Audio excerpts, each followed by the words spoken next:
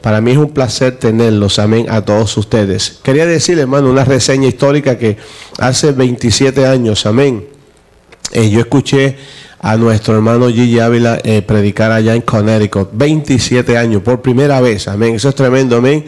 Gloria al Señor. Y como estaba yo comentando que a través de los años muchos evangelistas surgen por un par de años y luego pues tú no escuchas de ellos, ¿verdad? Eh, algunos de ellos pues eh, como que se le acaba el fuego.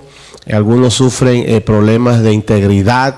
Algunos, ¿verdad? Se divorcian. Otros hacen líos. Amén. Gloria al Señor. Pero Gloria al Señor. Hermano Gille, a través de los años, ¿verdad? A través de, toda esa historia, nadie, nadie, nadie ha podido escribir nada negativo sobre este hombre de Dios. Amén. Así que Él es un ejemplo. Amén. Gloria a Dios. Gloria a Dios alabado. Y a veces uno se pregunta cómo es posible, ¿verdad? Esta, la cadena del milagro, cómo es posible llegar a Europa, amén. Pero cuando un hombre de Dios mantiene esa integridad, Dios lo tiene que respaldar, amén, gloria al Señor. Así que es un ejemplo para mi persona, para mi esposa, para mis hijos, amén, que están aquí en esta mañana, como cuando un hombre se mantiene, Dios lo respalda, amén, gloria al Señor, y vive en dignidad y puede disfrutar, amén, gloria al Señor, de este evangelio, amén, y del respaldo de Dios vivo. Así que una vez más me siento contento, me siento alegre y voy a dejar en estos momentos al pastor Balmores Ruiz, que él continuará y él presentará a nuestro hermano Gille, nuestro hermano Balmores. Dios le bendiga a todos, hermanos, en esta mañana. Eh, nos estamos gozando en la presencia del Señor. Sean todos bienvenidos, ¿verdad? Eh, en lo personal, quiero dar la bienvenida. Eh, si hay pastores de Iglesia Asamblea de Dios, Iglesia Asamblea de Dios, ahí con nosotros. Bienvenido. hay Iglesia de Alfa y Omega, Concilio Alfa y Omega. Aquí está hermano Roger. Dios le bendiga, bienvenidos. a iglesias del Concilio Latinoamericano. Ahí están, Dios le bendiga, bienvenidos. Iglesia del Príncipe de Paz. Ahí están los hermanos del Príncipe de Paz. Eh, iglesias del Movimiento Internacional. Ahí está el hermano Bonita. Eh, hay iglesias que están con nosotros con, eh, de parte del Concilio Asambleas Cristianas. No hay. iglesias de apóstoles y profetas. Ahí tenemos hermanos de apóstol y profeta. Iglesias independientes que no pertenecen a ningún concilio. Ahí tenemos buen grupo de iglesias, ¿verdad? Bienvenidos. Eh, siéntanse como en familia. Somos un solo pueblo. Eh, y estamos aquí, ¿verdad? Para adorar a un solo Dios. Y lo que vamos eh, a recibir, pues, una enseñanza de la palabra del Señor. Eh, vamos inmediatamente a proceder a escuchar la enseñanza que tiene el Señor para con nosotros y estemos atentos que algo grande vamos a recibir de parte del Señor. Vamos a colectar una ofrenda, ¿verdad? Eh, vamos a esperar que llegue más gente. Los que están muy atrás, por favor, háganse más adelante para que estemos mejor atentos a la palabra del Señor. Así que es un privilegio para mí presentarles al siervo del Señor, nuestro hermano Gille Ávila.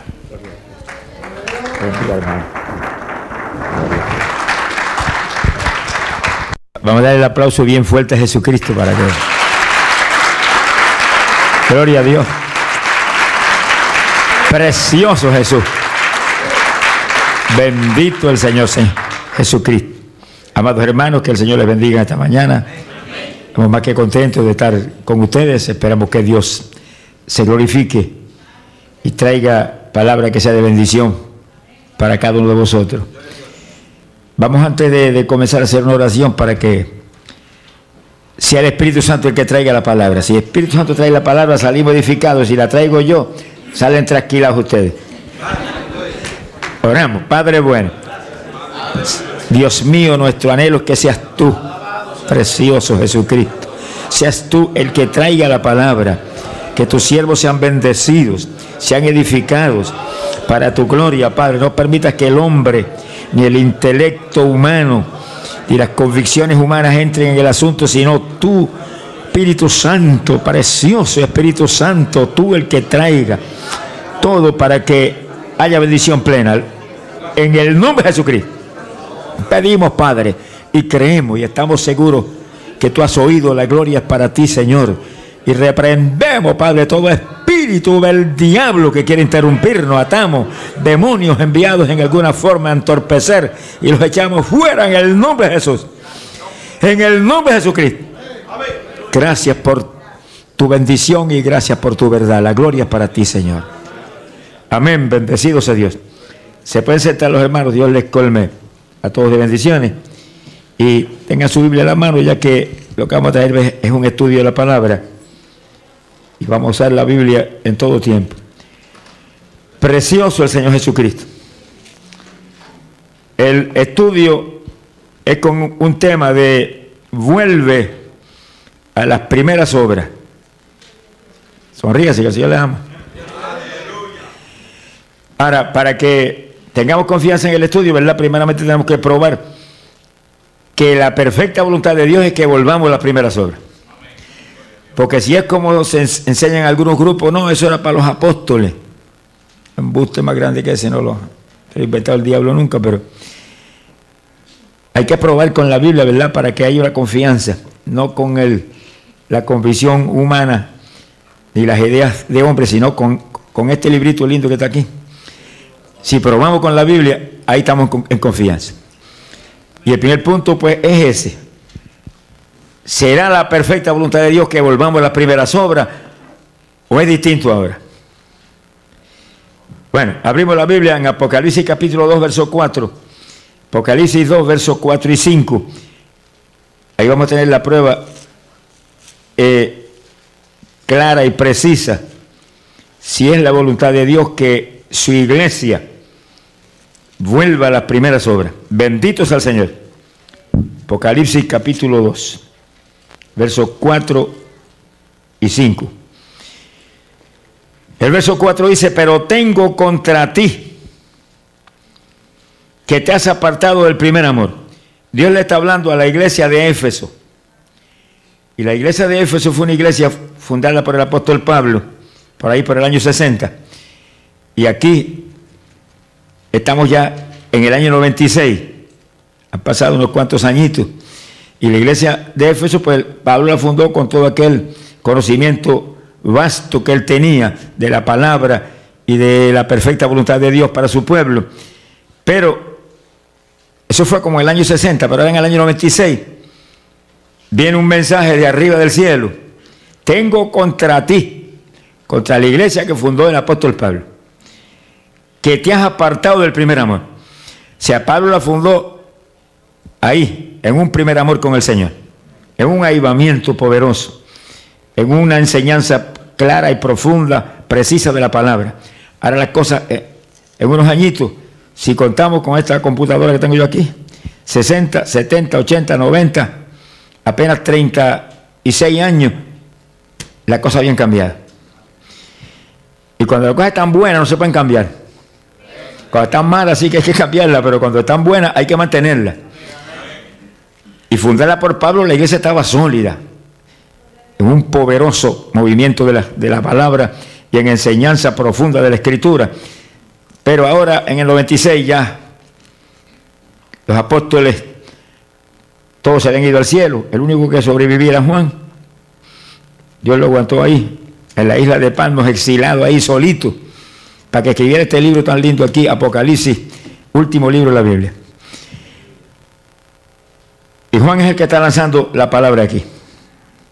Sea bendito el Señor Jesucristo. Ahora, el verso 5 dice, recuerda pues por tanto, ¿de dónde has caído?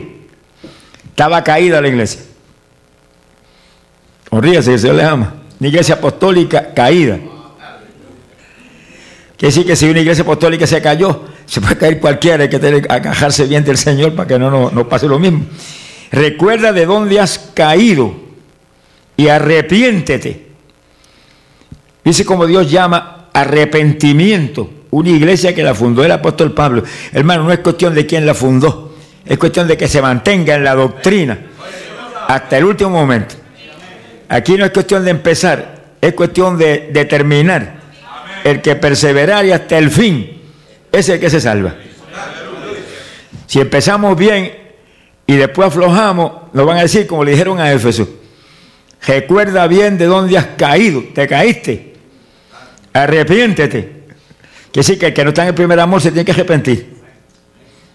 Está caído. Sonríase que el Señor le ama. Dice, y vuelve a las primeras obras. Ahí está el punto.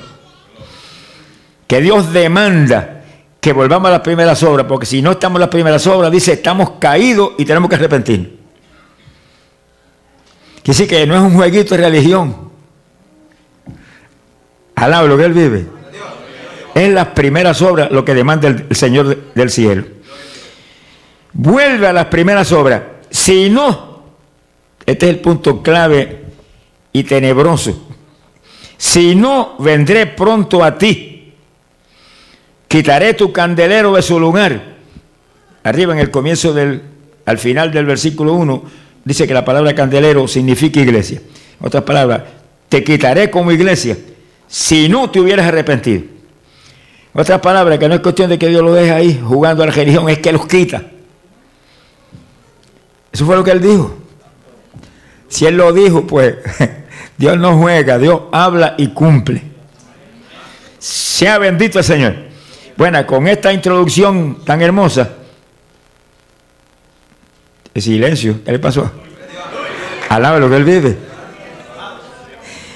Empezamos entonces ahora con, con, el estudio. Vuelve a las primeras obras. Ahora, ¿cuáles son las primeras obras? Ese es el punto clave. Porque vuelve a las primeras obras, pues es la orden de Dios. Pero ¿cuáles son las primeras obras? Sea bendito el Señor Jesucristo. Vamos a empezar con la número uno. Porque la número uno es la base de todo. Sin esa, no hay primeras obras de ninguna manera. Ni hay iglesia de Jesucristo tampoco. Y esa primera es bautismo en el Espíritu Santo. Alaba lo que él vive. Cuando yo, cuando yo comenzaba en el ministerio, hermano, predicaba en las iglesias exclusivamente. Iba por allá, por Puerto Rico, por los campos, por los pueblos, iglesia por iglesia. Y siempre si una pregunta es, ¿cuántos no tienen el bautismo del Espíritu Santo? Y siempre levantaban la mano 25, 30 o 40 personas que no tenían el bautismo. Y algunos hacían un año y dos y tres que se habían convertido. Alaba lo que él vive. Uno de los retos más grandes, hermano, que usted tiene como pastor, es que en su iglesia no haya una sola persona sin bautismo Espíritu Santo. Porque la Biblia dice, Cristo vino a bautizar en Espíritu Santo y en fuego. A eso vino. Para que su iglesia no sea un mueble más, sino su iglesia sea el instrumento poderoso que aplaste al diablo en todos los frentes. Pero sin bautismo Espíritu Santo no hay caso, hermano. Para que sirvamos para algo nosotros, Alablo se puede. Tiene que meterse los Dios por dentro. Y que el que viva sea Él y no usted ni yo. Porque si es usted y yo, y los discípulos hacía tres años y medio que estaban con Él, y no eran ningunos niños espirituales, eran gente que ya en tres años y medio caminando con Cristo algo se le había pegado. Y lo señaló a decir, ustedes, le dijo ustedes.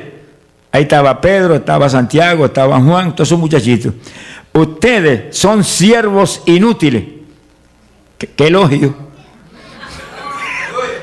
Me imagino que se le fue el gozo a, a Pedro como por tres meses. Al lado de lo que él vive. Pero como el Señor hablaba así, claro, sin titubeo y sin mirar cara de hombre y sin favoritismo con nadie, pues le dijo lo que eran para que se arreglaran, para que se agarraran de Dios y entendieran que ellos no podían, era el Espíritu Santo a través de ellos el que iba a poder que entendieran que el bautismo del Espíritu Santo era la base de la victoria. Fíjense ustedes, en los tres años y medio que tuvieron ellos caminando con Jesús, sin bautismo Espíritu Santo. Bautismo del Espíritu Santo vino en Pentecostés. Ahí Señor estaba allá en el cielo, de allá descendió.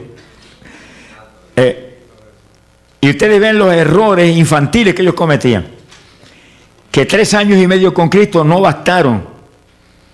Faltaba lo importante, lo más importante, que Cristo se le metiera por dentro a ellos.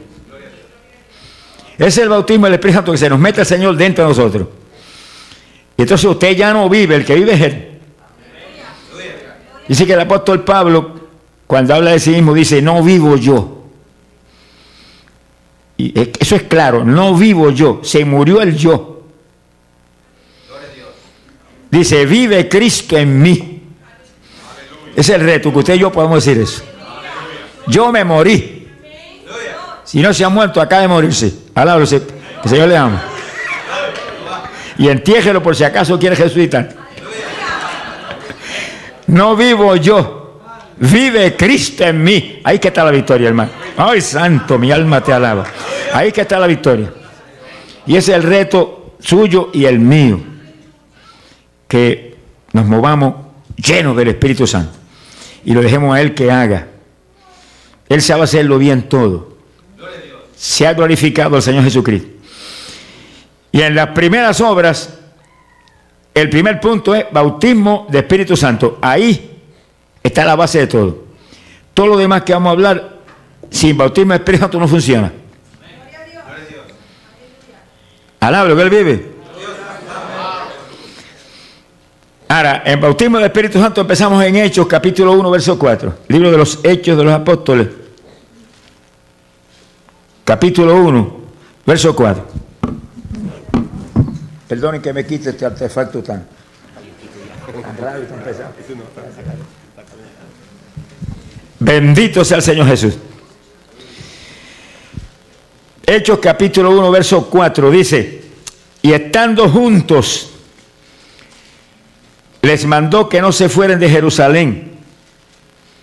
Dice que el Señor, esto tiene que ser tan importante porque el Señor está dándole las últimas instrucciones a su muchachito. Alábalo si puede. las últimas instrucciones, lo último que él habló, tiene que tener una importancia muy, muy especial. Dijo, no se aparten de Jerusalén, no se me muevan de ahí sino que esperen la promesa del Padre, la cual les dijo, oísteis, en palabras sencillitas, hasta que no los llene del Espíritu Santo, no se me muevan. Él sabía lo que ellos daban. Mientras estuvieron con él, el asunto era distinto porque estaban con él. Y él estaba ahí viendo y corrigiendo y enseñándole. Y se movían controlados por el Señor. Pero él se va. Y se quedan solos esos muchachitos. Ah, no, lo que el Señor le ama.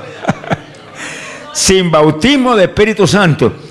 Y sin bautismo de Espíritu Santo le dijo, no se me muevan de Jerusalén. Quietecitos ahí. Esperen la promesa del Padre, la cual dijo, oíste de mí. Hasta que no los bautice con el Espíritu Santo, no se muevan ni a predicar, ni a enseñar, ni a ministrar a nada quietecitos ahí orando, cabezones, alaba lo que Señor le ama. Sea bendito el Señor Jesucristo. En palabras sencillas, como se le hubiera dicho, ustedes no sirven para nada, ninguno, quietecito hasta que yo descienda y me le meta por dentro, entonces se mueve. Porque yo soy el que los voy a mover. Alabado sea Dios. Ahora, ese es el bautismo del Espíritu Santo, que el Señor se meta dentro de nosotros. La palabra bautismo, en cualquier forma que lo usemos, quiere decir sumergirse completamente. Inmersión. Si bautismo en agua, es inmersión. No es chorrito de agua por la cabeza, es inmersión. Alábalo si puede. Y el bautismo del Espíritu, inmersión. Ahí se sumerge el Espíritu en nosotros. Y ahí es donde nosotros tenemos la fuerza para movernos y echar para adelante. yo conozco organizaciones, hermanos, muy buenos, hermanos y demás, pero se, graduan de los seminarios los hermanitos sin bautismo de Espíritu Santo y se meten a pastorear. Si pastorea vacas, se le mueren. Alábalo si puede. Y si pastorea cabra, se le mueren también. Si pastorea gente, se le mueren también. Alábalo que el Señor le ama. No. Yo se lo enseño, ¿verdad? Allá en Puerto Rico continuamente. Algunos quizás se enojan conmigo, pero yo los veo después, los abrazo y los contento. Una vez se gradúan de esos buenos seminarios que son una bendición tremenda. Lo que le enseña la palabra es bendición. Tienen el conocimiento de la palabra, que es clave. Pero no se vaya a pastorear hasta que Dios no lo llene del Espíritu Santo. Porque Cristo vino a bautizar en Espíritu Santo y en fuego. Yo le digo, hermano, ciérrese en una habitación y no salga de ahí, hasta que no salga echando humo hasta por la nariz. Alá, lo que el Señor le ama. A ver, me dijo uno, y si me muero, y dije, ah, qué bendición, se va para el cielo, ojalá se muera. Sonríe se puede. Aquí nosotros no tenemos que tener miedo a nada. Lo nuestro todo es ganancia. ¿Cuántos levantan la mano y adoran a Dios? Alabro, hermano, que el Señor le ama. Bendito sea su nombre. Sai la maya soja. Lo nuestro todo es ganancia. Y eso incluye la muerte. El morir es ganancia. Te va el apóstol Pablo deseándose la muerte. Tengo deseos de morirme. Yo no digo eso nunca. Alaba lo que se le ama. Tengo deseos de seguir vivo aquí hasta el rato. Al rato que se quede. Más le valdría no haber nacido. Pero hasta el rato, porque aquí, hay que predicar la palabra. Pablo decía lo mismo, tengo deseo de morirme. Decía, y irme con Cristo, lo cual sería mucho, mucho mejor. Dijo, pero a causa de la, la necesidad de aquí abajo, deseo permanecerme aquí un tiempo más. Hombres de Dios, ¿verdad? Que tenían amor de Dios. Pero entendía que lo más grande es uno irse con el Señor. O sea, decía, tengo, me gustaría morirme. La muerte es ganancia. Ah, lo que él vive. Salimos del cuerpo. ¿Sabe lo que es eso? Que usted se muera ahora mismo. Alábalo si puede. Y salga del cuerpo. Y aparece un ángel que resplandece. Vámonos, que te están esperando allá arriba. Y te agarra y por ahí para arriba. Un viaje sin escala hasta el mismísimo trono de Dios. Y allá inmediatamente ve a Jesucristo como Él es, ahí cara a cara. Esa sería una bendición grande que nos muriéramos todos ahora mismo. Alaba lo que se le ama. Pero eh, sería un egoísmo también grande porque ir la obra de Dios aquí abajo. Los millones de perdidos aquí abajo. Que nuestro reto es llevarle esta palabra. Ayudarlos a que escapen de la condenación. Y decir que aunque nos gustaría irnos con el Señor, pues hay que aguantarnos unos días más. No es mucho lo que falta. Todo está cumplido, pronto nos vamos, gracias a Dios. Pero en el tiempo corto que nos queda hay que sacarle el sumo a este asunto. Ana, lo que él vive. No hay tiempo para vacaciones, ni hay tiempo para nada. Hay que hablar la palabra y enseñar la palabra y encima de la gente, tratando de ganarnos lo más que podamos en el tiempo corto que nos queda. Lo único, lo que va a permanecer, hermano, es lo que hagamos para Jesucristo. Además, se va a llevar el viento todo. Pero lo que hagamos para Cristo permanecerá para siempre.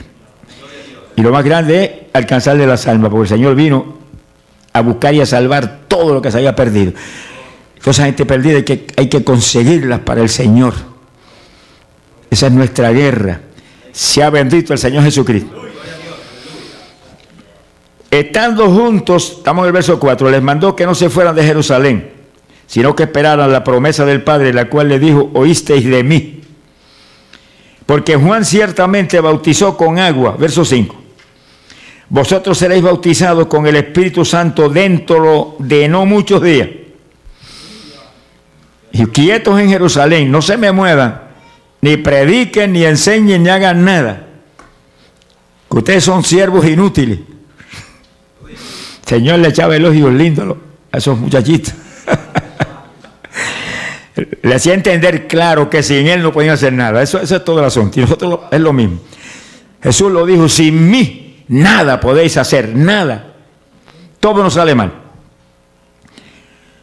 Pero cuando los llene del Espíritu Santo, que es como decir, cuando yo desciende y me les meta por dentro, entonces van a estar mejor que cuando caminaban conmigo. Pero cuando caminaban conmigo andaban con Jesús, pero ahora no, ahora Jesús iba a meter dentro de ellos. Y ahora iban a andar a toda profundidad en Cristo. Sea bendito el Señor. Poderoso Dios. El verso 8. El verso 8 es lo último que el Señor habló. Apenas terminó de hablarle esa última enseñanza, se levantaron los pies de la tierra y se fue. Gloria a Dios. Recibiréis, verso 8, pero recibiréis poder. La iglesia del Señor es una iglesia de poder. Una iglesia que echa fuera al diablo en todos los frentes. Una iglesia que tiene al diablo bajo nuestros pies. ¿Cuántos lo tienen ahí, hermano? Pues apriételo bien. Apriételo. Imagínense que la cabeza del diablo está bajo el pie suyo. Y apriéteselo para que haga una mueca. Alábalo que viene. Ahí. Éstale con todo. Alábalo se puede. Esa es nuestra alegría, que tengamos el diablo ahí bien pisado. Porque ese es el enemigo de Dios. El enemigo de nuestro Padre es el diablo. A ese, con ese no hay trato, ni cariñitos, ni ninguna clase. Alaba lo que él pide. Sea bendito el Señor. Recibiréis poder. Sin poder de Dios no hay iglesia de Jesucristo, hermano.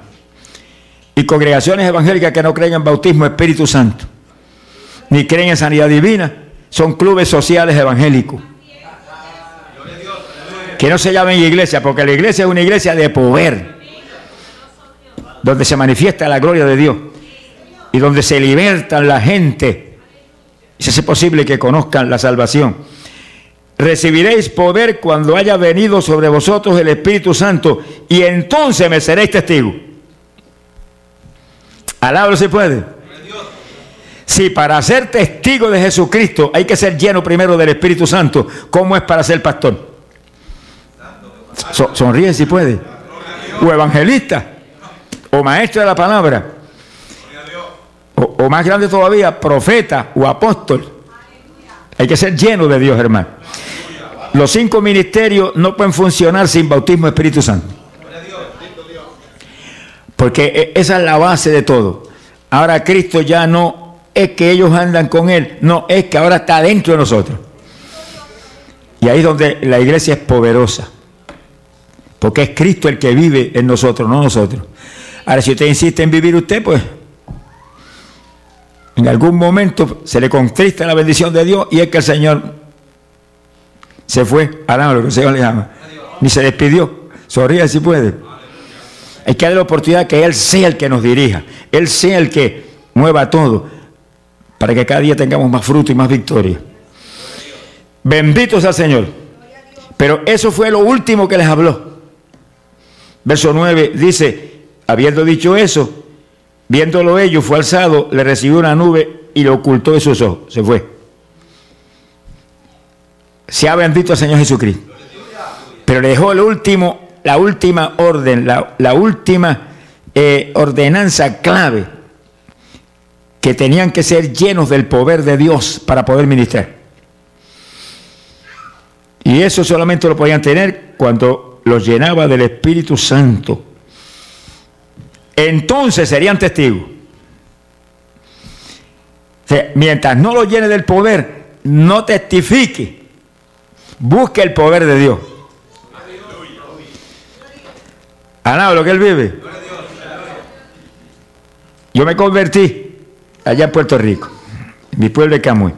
Me añadí a una de las iglesias evangélicas. Muy buenos hermanos y el pastor, muy buena persona. Pero nunca me hablaron de bautismo Espíritu Santo. Es un crimen espiritual, hermano. Un crimen espiritual. En cuanto la persona se convierte hay que hablarle bautismo Espíritu Santo y ministrárselo. No me lo crea a mí, lo vamos a probarlo con la Biblia. Esa es la base del Evangelio, de este cristianismo del Nuevo Testamento. Qué silencio, alaba lo que el Señor le ama. Sonríe si saque aunque se sea siete, aleluya. Poderoso Jesucristo. Mi alma te alaba, Jesús. En Hechos capítulo 2 vemos ese pasaje hermoso de Pentecostés. Ustedes lo conocen tan y tan bien. Gracias al Señor. Y en el día de Pentecostés estaban todos unánimes juntos. Así tiene que estar la iglesia, hermano. Juntos estamos todos aquí ahora. Eso es fácil, juntarnos de vez en cuando. Pero lo grande es unánimes. Que seamos uno en el Señor uno, un solo cuerpo es la iglesia. Pueden haber diez mil denominaciones y cinco mil organizaciones, pero la iglesia tiene que ser una. Y el que haya organizaciones, eso no separa a la iglesia. Puede haber tal organización y tal, pero nos reunimos periódicamente como ahora y ahí estamos, abrazándonos unos a otros, pasándonos ideas el uno al otro, orando los unos por los otros y entendiendo que el problema tuyo es el mío. Se ha bendito el Señor. Es unánime que son uno. Uno. No hay dos iglesias. Hay muchas organizaciones y muchas denominaciones, pero iglesia no hay nada más que una. El cuerpo es Jesucristo. Y el cuerpo de Jesucristo es un solo cuerpo. Alábalo si puede. Bendito sea su nombre. Eso es algo claro que no nos podemos confundir. Tenemos que amar más la iglesia del Señor que nuestra organización, porque nuestra organización es importante y usted tiene que amarla y protegerla y cuidarla y honrarla, pero la iglesia es la organización de arriba. Es la ejecutoria del Señor en nosotros.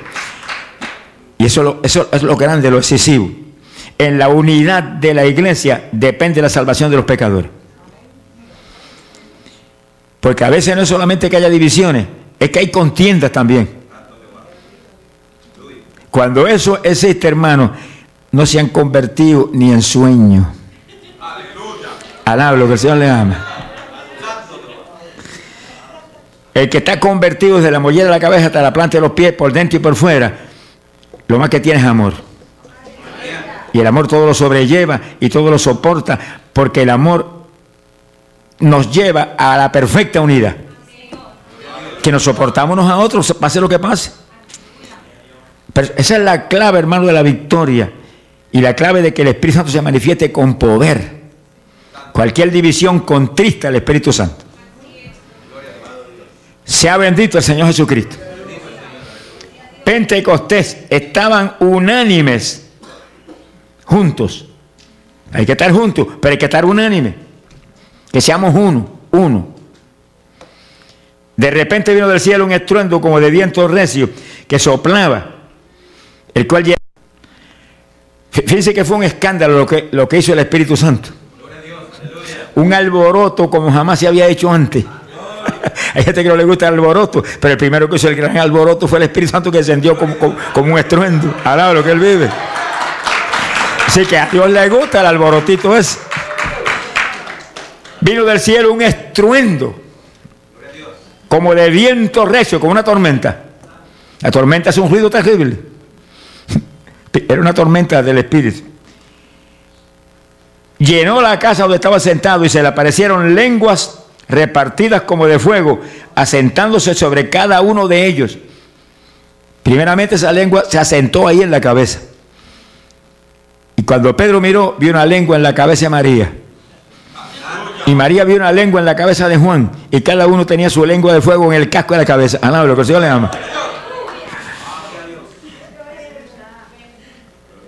Pero luego esa lengua de fuego entró hacia el interior. Espíritu Santo y fuego. El bautismo es de Espíritu Santo y fuego. Y comenzaron, y todos fueron llenos del Espíritu Santo.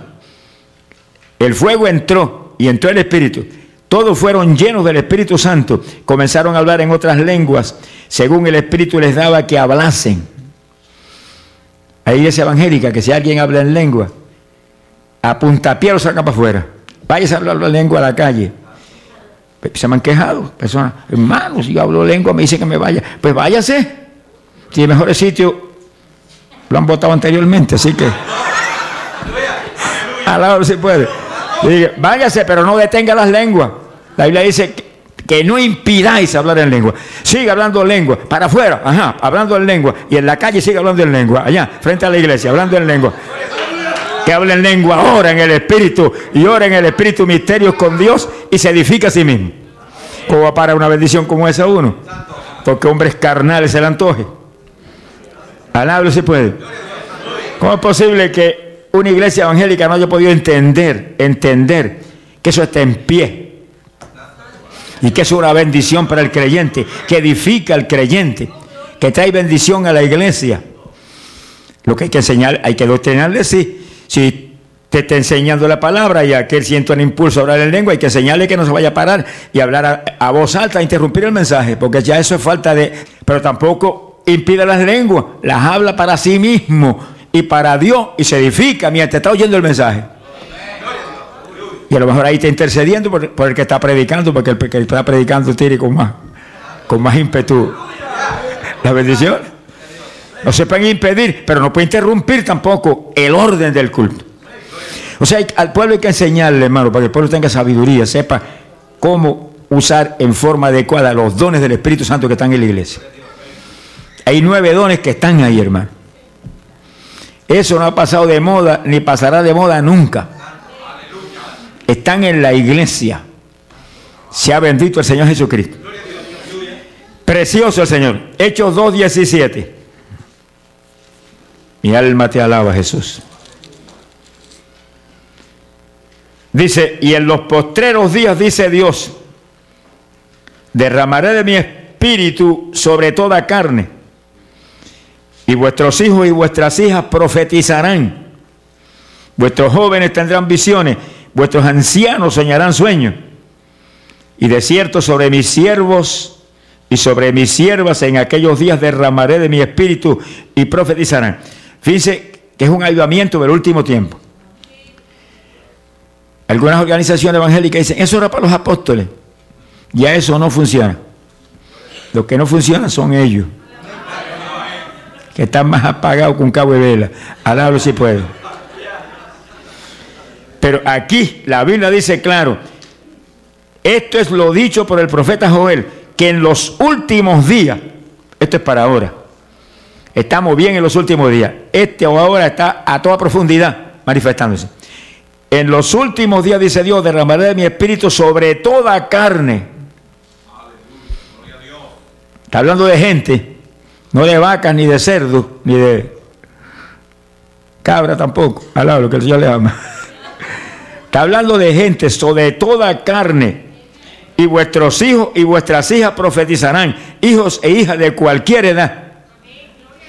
Puede tener cinco añitos, puede tener seis, una bendición que Dios bautice a todos los niños en la iglesia. Porque es una cosa bella. Pero primero hay que pelear que, bautice a los grandes. Cuando no quede un adulto sin bautismo, entonces hay que caerle arriba a la juventud, a los niños. Que toda la iglesia se llena del Espíritu. Porque aquí es, esa es profecía del último tiempo. Sea bendito el Señor. Derramaré mi espíritu sobre toda carne, sobre vuestros hijos y vuestras hijas, y profetizarán manifestación de dones del Espíritu en la iglesia. Vuestros jóvenes verán visiones. Le van a prender el televisor del cielo a la juventud. Alábalo si pueden. Para que vean que hay un televisor allá arriba más lindo que los de abajo. Gracias a Dios que hoy en día hay televisión cristiana. Pero cuando yo me convertí, hermano, no había eso. Lo que había televisión mundana, que eso era un veneno y montones de, de, marmaritos a la escondida. Prendían sus televisores. Lo único que veía era basura, no tenían derecho a tener televisión. Yo, les predicaba, hermano, ¿sabes que ese cajón del diablo es su casa? Y échalo al río. Y montones de hermanos lo hacían. Se llenó el río de televisores. y era un gusto los pescados viendo televisión allá abajo. Mi alma te alaba, Jesús. Pero ahora no podemos decir eso, porque ahora hay televisión cristiana. Ahora, hermano lo que tiene es que prender televisión cristiana, no la del mundo, no, la de, la de Dios, la del cielo. La cadena del milagro tiene, tira 24 horas. Los equipos no se apagan nunca. ¿Cómo sobreviven? Pregúnteselo al Señor, yo no lo entiendo. Pero no se apagan nunca. Ahí está eso, ahí. A las 3 de la mañana, a las 4 de la mañana, a las 5, a las 2, a la hora que prende, ahí está. Y como le damos promoción, pues montones de pecadores sintonizan la cadena. Se ha glorificado el nombre de Dios, sintonizan la cadena. Y el grupo pues llama a convertirse, porque para eso es que le, le llevo la televisión, para que se conviertan. Pero tiene palabra de Dios 24 horas. Pero también hay otros, otras cadenas, porque en Puerto Rico hay como alrededor de 14 canales de televisión cristiana. Y hay como 18 emisoras de radio cristiana. Y decir que el que no se convierte porque no quiere. Mi alma te alaba, Jesús. Y es palabra de Dios en todo ese ámbito. Mano Torre Ortega tiene una cadena de televisión cristiana. Mano y otros hermanos que tienen cadenas de televisión cristiana también. Y cubrimos el país a toda hora. Es una bendición que pocos lugares lo tienen. Cuando yo voy a predicar en Sur y Centroamérica, me siento tristeza de ver que ni un canal de televisión cristiano en muchos de los países, ni uno. Y digo, mire, póngale una tela parabólica al techo de la casa suyo. Cójala a palazo, al lo que se le Porque la, cadena nuestra tiene tres satélites. Y entonces el satélite principal para el- este territorio le llena la eléctrica de aquí a Estados Unidos. Tenemos que cambiarlo pr- pronto porque nos cobra un ojo en la cara. Una fantasía. Nos cobra 120 mil dólares todos los meses. Y ahora aparece un canal. Nosotros contratamos un, satélite en Europa. Se llama el Eutelsat. Eso cubre toda Europa. Satélite poderoso. Pero ahora tiraron un satélite nuevo que va a cubrir todo Sur y Centroamérica. Y nos llamaron. Como ustedes son clientes nuestros, le vamos a dar eso por 33 mil dólares mensuales. A, a 120 mil que nos cobra este, pero este tenemos un contrato ahí que estamos clamando a Dios a ver cómo nos libra el Señor de, este asunto. Porque hay que hacer las cosas en ley. Pero ya sabemos que hay cierta cosita que podemos hacer. El asunto es que de 120 mil a 33 mil que nos cobra ese satélite, que cubre todo Sur y Centroamérica completo, el que nosotros tenemos no cubre todo completo. Llega a Venezuela y apenas a Colombia, nada más. Ya Argentina no llega, ni a Bolivia, ese, ese montón de países. Y, y la gente allá no, no- nos agarran por radio, porque tenemos un satélite de radio. Satélite de radio entra en Argentina y otros sitios, pero ellos quieren ver televisión. Porque la radio es una bendición, pero cuando, cuando uno ve y oye es mejor. Pero estamos en la batalla y, hay ciertas formas que estamos investigando para tratar de que pronto podamos romper ese contrato y agarrar el satélite de Europa. Porque es, la, es el mismo Eutelsat, por eso que no cobra tan barato. No, ustedes son clientes nuestros ya, solamente esto le cobramos. ¿Y cuánto? Hasta más usted, de 120 mil acá, que no cubre gran cosa. Cubre Estados Unidos y Puerto Rico. De, fuera de eso, Venezuela, ya Colombia casi no llega. Y darnos por, por 33 mil que cubre todo Sudamérica completo y todo Centroamérica completo. Ah, Lo vamos a conseguir con el favor de Dios. Dios tiene siempre su forma y su salida para que sin que haya problemas. Bendito es el Señor Jesucristo. Vuestros jóvenes verán visiones. Televisión del cielo. Vuestros ancianos soñarán sueños. Dice, todo tipo de edad. Hijos e hijas de cualquier edad. Juventud. Viejos y viejas. Sonríe si puede. De cualquier edad también. Mi mamá murió a los 95, hace, hace unos meses, no hace un año. 95 años. Ahí le dice 70, 80 la vida del hombre. El Señor le añadió 15 más. Pero hermano, si, si oraba todos los días 5 y 6 horas, ¿cómo Dios le va a añadir qui- 15 años más para que bombar- siguiera bombardeando para allá arriba? 15 años que, que le tiró oración para allá arriba como, como tormenta.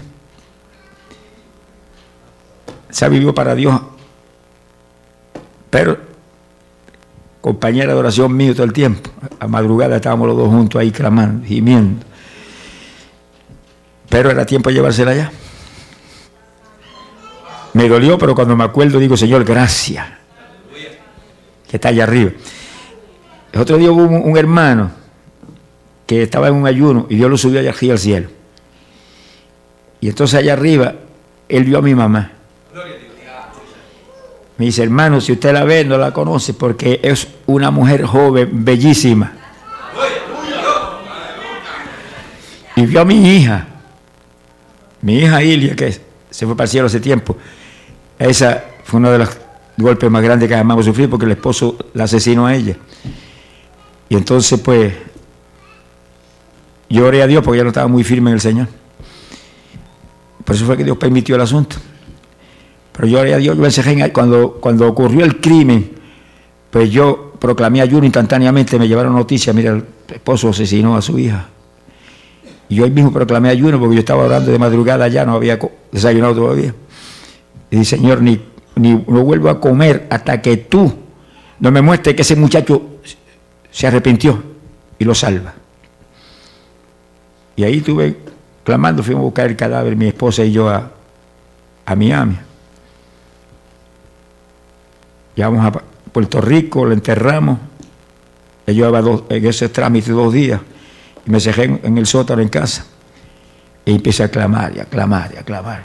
Y hasta que no me salve este muchacho, no entrego el ayuno. A los nueve días Dios me dio la visión y yo lo vi bañado en lágrimas orándole a Dios. Y gracias Señor. Y pocos días después yo fui a verlo. Y él no se atrevía ni mirarme la cara. Yo le dije, no fuiste tú, fue el diablo que tú sos porque estabas apartado de Dios. Ahora ya tú estás en el Señor. Ahora vamos a echar para adelante con Jesucristo. Que Ilia está en el cielo, feliz, contenta.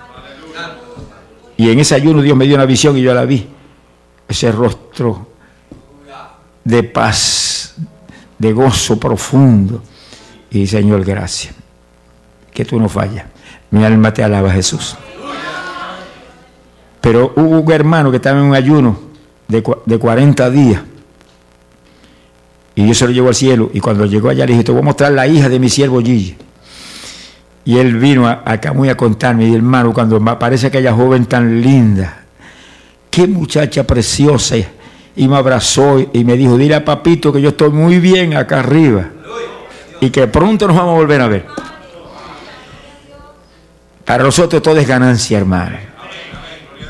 Y cuando un hijo parte es doloroso, en la forma que sea, pero es ganancia. Dios no falla en salvar a nuestros hijos. Esa muchachita pues fue una muchacha que ella amaba al Señor, pero era descuidada de su vida espiritual. Por eso Dios se la llevó. Ahora está aseguradita para vida eterna allá arriba. Sea bendito Señor. Ahora las otras dos sí, Noemí ha predicado desde que se desde convirtió. Noemí se convirtió como a los 5 o 6 años, salía conmigo a las campañas y a los 7 o 8 años estaba predicando abajo. Hasta ahora. Se ha ganado miles de almas para el Señor, tiene una iglesia allá en Arecibo, tiene como ocho obras en Venezuela. Gracias al Señor. Doris, que es la otra hija mía, y su esposo tienen una imprenta, los dos están firmes en el Señor, son miembros de la iglesia metodista en Camuy. La iglesia metodista en Camuy, la mayor parte de la gente tiene el bautismo del Espíritu Santo. Lo importante no es el nombre, lo importante es el bautismo del Espíritu Santo. Y damos gloria a Dios porque es Él para la promesa suya y la mía. Serás salvo tú y tu casa. Yo salvaré tus hijos, aún hasta la cuarta generación. Yo creo que no, no vamos a durar tanto, pero, pero hijos y nietos sí. Porque todas mis hijas tienen, cada una tuvo tres, son nueve nietos. Alaba lo que Él vive. Precioso el Señor Jesús. Hechos 2.17. Nuestros hijos y nuestras hijas profetizarán. Los jóvenes verán visiones. Los ancianos soñarán sueños. Dice que Dios estará usando todas las edades. Hijos e hijas de cualquier edad. Juventud y viejos y viejas. Y gente que a los 60 ya están diciendo, ah, pero yo estoy tan viejo. Yo digo, pues lárguese para el cielo descansar, cabezón. Al lo que se le ama. Mire qué viejo a los 60. A los 80 años, Caleb y Josué comenzaron la conquista de la, de la tierra prometida, hermano. Eso no era cualquier cosa, eso era una guerra en esa época, era en un caballo con una espada que pesaba largas libras, a palo limpio con, con los enemigos, y ahí habían gigantes, había de todo. Acabaron con, con todo eso. A los 80, a los 85 terminaron la guerra. 85 años, yo creo que aquí ninguno tiene esa edad. No me mira a mí que yo tampoco. A lo que él vive. Precioso Jesucristo. A los 85 Caleb le dijo Josué, ¿y ahora qué hago? Estoy más fuerte que nunca. 85 años. Hermano, esos hombres eran gente de Dios, gente que amaban a Dios de corazón, pero no tenían lo que tenemos nosotros. Nosotros estamos bajo la total redención, bajo el sacrificio poderoso, sublime de Jesucristo, que crucificó toda maldición. Ellos no, ellos era cuestión de fe y para adelante con Dios. Pero nosotros tenemos todo, toda la liberación total que compró Cristo, está en nosotros ahora. Sea bendito el Señor. Quiere decir que si ellos a esa edad estaban así, ¿cuánto más nosotros? No se me muera, sonríase, que así le ama. Yo me espanto cuando veo montones de, personas, hermanos, a los 60 años ya partiendo para el cielo. La promesa es 70 a 80 la vida del hombre. Y cuando uno conoce eso, reclama eso y Dios lo hace, hermano. Si no, le mete el diablo una enfermedad y lo manda para allá arriba antes de tiempo.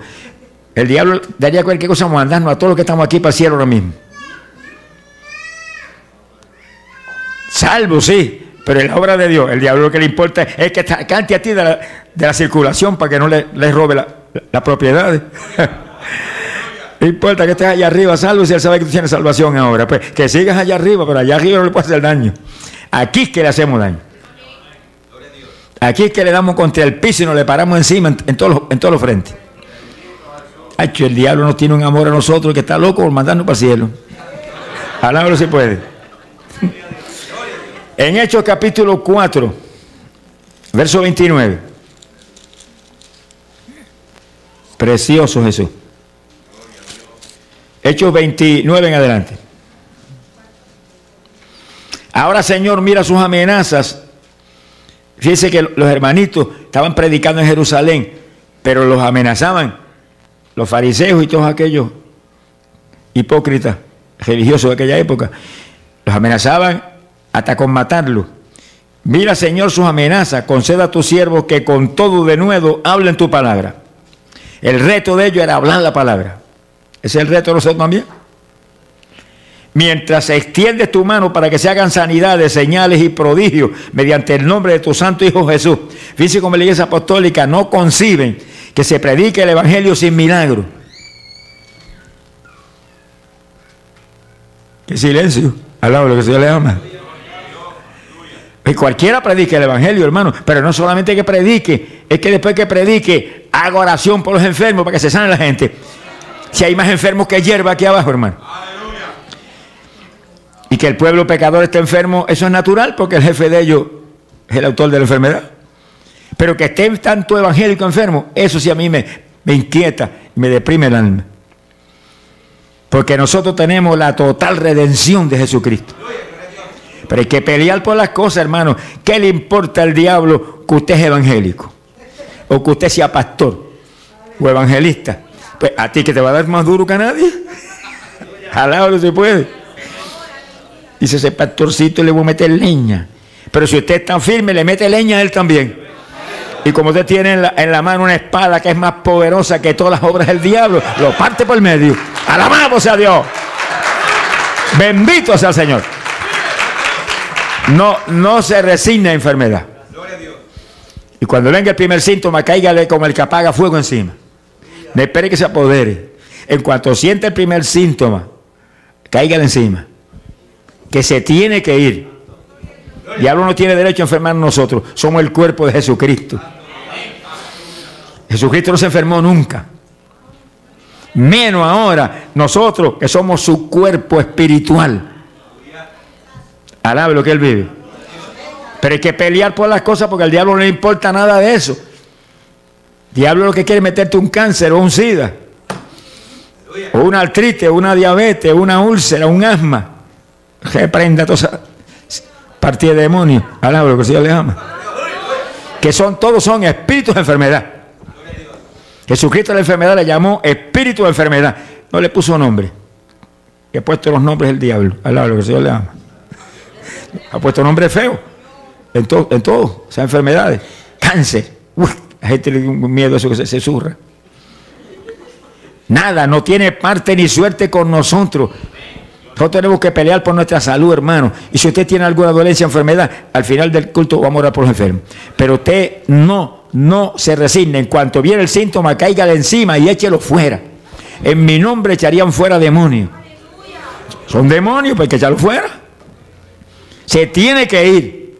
No es si quiere o no quiere, se tiene que ir, porque tenemos la autoridad total de Jesucristo contra él. Alabe lo que él vive. Sea bendito el Señor. Lo que hay que dar la batalla, pero hay que dar la batalla. Sea bendito el Señor. Conceda a tus siervos que con todo de nuevo prediquen tu palabra y extiende tu mano para que se hagan sanidades y señales y prodigios mediante el nombre de tu Santo Hijo Jesús. Ese, era el evangelio apostólico, con milagros de todo tipo. Pues ahora estamos en los últimos días, donde dice, en los últimos días dice Dios, derramaré mi espíritu sobre toda carne. Poder de Dios en cada creyente. Cuando hubieron orado, esa oración que hemos leído ahí, el lugar en que estaban congregados tembló. Todos fueron llenos del Espíritu Santo y hablaban con denuedo la palabra de Dios. Y eh, ahí eso ahí hay un punto inquietante, pero no lo llenó en Pentecostés. Pentecostés dice que todos fueron llenos. ¿Y por qué lo tuvo que llenar de nuevo ahora? Que sí que ya, no tenían la llenura de cuando descendió Pentecostés. Por alguna razón no tenían la llenura. ¿Por qué? Bueno, hermano, es que Dios nos llena, pero usted tiene que mantener esa llenura. Usted tiene que dar la, la- la- la batalla espiritual para mantenerse lleno. Te ve gente que en su iglesia Dios los llenó del Espíritu, saltaban como corderitos en la manada, hablaban en lengua, le testificaban a todo el mundo y seis meses después están más apagados que un cabo de vela. ¿Dónde está la llenura ahora? Nada, se le fue la llenura por falta de oración y por falta de vivir la vida que tiene que vivir el cristiano. O sea, cuando Dios los llena, hay que mantener la llenura. Y cuando la persona ve que está como apagándose, que ya no siente esa libertad de darle testimonio a la gente, eh, eh, tiene que meterse seguido con Dios. Hasta que eche fuego por- hasta por las orejas. Alaba lo que él vive. Dios restaura de nuevo. Pero si, si está medio apagado porque no está teniendo la vida de oración que tiene que tener. La oración es la clave. El ayuno tiene su importancia, pero la oración es lo grande. Si la vida de oración está firme, mira hermano, se mantiene lleno uno ahí. Siempre tiene que estar uno vivo, vivo, en avivamiento. Alaba lo que él vive. La, la gente ahora, Señor, derrama un avivamiento. Cuando Dios lo bautizó, ya usted está en el avivamiento. Usted tiene a Dios metido adentro y usted no vive. El que vive es el que más avivamiento que ese. Ahora tiene que mantener eso. El diablo trata de pagarle eso. Y cuando la iglesia, todo el mundo tiene bautismo del Espíritu Santo y todo el mundo está lleno de esa bendición, hay un avivamiento poderoso porque todo el mundo siente el deseo de visitar los hogares y de por las calles predicar y hacer esto y lo otro. Se le apaga esa bendición, ya tú ves que no testifica ni a la mamá, ni a la mamá, a nada, lo que Señor le ama. Sea bendito el Señor. Que sí que el reto es ser llenos del Espíritu. Y ahí está el bautismo. Pero entonces hay que mantener eso. Hay que mantenerlo. La gente cree que Dios es el que lo va a mantener. No, usted es el que lo va a mantener. Usted no es un cero a la izquierda, ni un zombie, ni un robot. Nosotros fuimos creados a imagen y semejanza de Dios. Con inteligencia. Bruto es el diablo que se rebeló contra Dios. es bien bruto porque él sabía que no tenía oportunidad contra Dios y se rebeló. Pues es que es un bruto. Alaba si puede. Pero conoce muy bien su negocio, es muy sagaz, muy listo y sabe cómo meterle me- mano a la, a la pobre humanidad. Pero inteligente no es, el inteligente busca a Dios. ¿Hay algún inteligente? Busque a Dios. E- Ese es nuestro reto, buscar a Dios, mantenernos llenos del Espíritu. Ganar fruto grande, abundante. Arriba nos van a dar posiciones cuando lleguemos. Alábalo si puede. La salvación es por fe y es por gracia. Pero la posición que vamos a tener en el reino que viene no es por fe ni es por gracia, es por obra. Y el que no trabaje no coma. Alaba lo que él vive. Bueno, hay gente, hermano, que- que usted los ve, están en su iglesia, pero no hacen nada para el Señor nunca. Y usted los manda allá, baja la cabeza, no otro día. De otro día no vuelve nunca. El inteligente tiene deseo, desespero de hacer algo, porque por lo que haga va a tener recompensa arriba. Hay algunos que no hacen nada, hermano, nada. Cuando llegan allá arriba, pues, le darán un mapa, imagino, para que barran en la- las calles de oro. Alábalo si puede. Sea bendito el Señor Jesucristo. Pero el reto es que cada hermanito haga algo y envíelos a hacer algo. Y envíos a la calle a testificar y a repartir tratado, algo que haga. Y hágaselo, hágaselo ver que viene un rato, viene un rato, y Cristo dijo, unos serán tomados y otros serán dejados. No está hablando a pecadores, los pecadores se saben que se van a quedar todos. Está hablando a su iglesia, unos tomados y otros dejados, porque hay hermanos firmes, fervientes, responsables, y hay hermanos indiferentes, indiferentes. Se quedan de tus aquí abajo cuando suena la trompeta. Encárguele que le saluden al anticristo de parte suya. Alábalo que vive.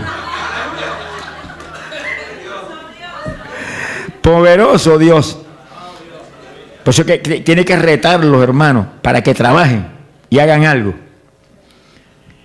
En el Antiguo Testamento usted ve que nadie venía al Señor sin una ofrenda. Nadie.